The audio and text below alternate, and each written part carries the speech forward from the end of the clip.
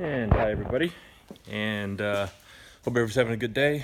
The purpose of this video today is to learn about required equipment for instrument flight. And to do that today, we'll be using my 1967 Cherokee 235B.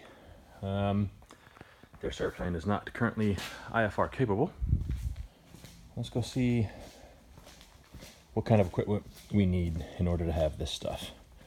Now, all of us have done, um, presumably, private pilot, in which case we learn through um, the FAR 91.205 equipment required for VFR flight.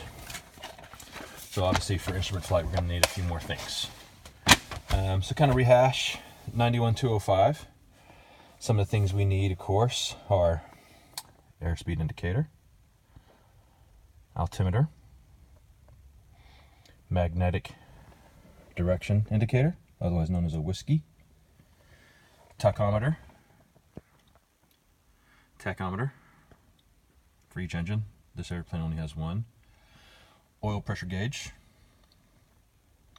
temperature gauge if you're liquid cooled, oil temperature gauge if you are air cooled, manifold pressure, which um, constant speed airplanes have and some non-constant speed airplane um, propellers have. Fuel gauge, all down there part of that cluster. Landing gear position indicator, this is fixed gear, so we don't need that.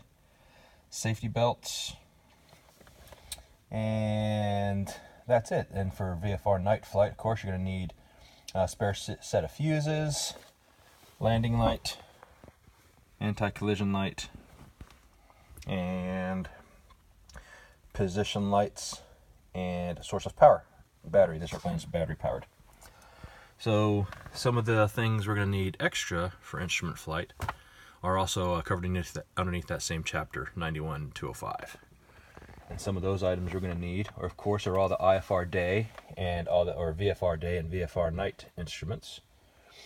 Um, but we're also going to need what's called a grab card, and the G stands for the generator, alternator, which this airplane has an alternator, radios, two-way navigation equipment. There's planes equipped with a single KX-155 with com and nav. That is the only source of communication for this airplane, so technically that would be uh, legal.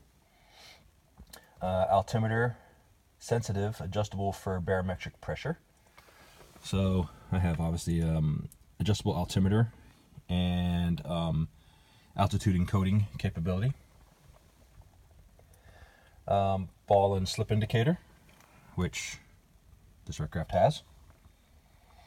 A clock with hours, minutes, and seconds. It's not wound up, but um, it's on there.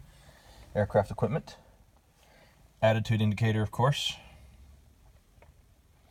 Uh, rate of turn indicator, of course. Turn, otherwise known as a turn coordinator and a directional gyro. This airplane has a directional gyro, um, but it is inoperative. So actually, I probably ought to put an inop sticker on there as per the requirements. Um, so yeah, this just kind of goes to show you what equipment's required to fly um, IFR in your aircraft. This is obviously limited to, um, this example is limited to this single GA airplane, uh, 1967 Piper Cherokee 235. Um, but the requirements are the same. So that pretty much sums up our requirements. Have a lot of stuff. Some of it doesn't work. don't need it for VFR flight. I'm okay with that for now. But uh, once I get done with this class and get qualified, I'm going to have to fix that. Have a good day.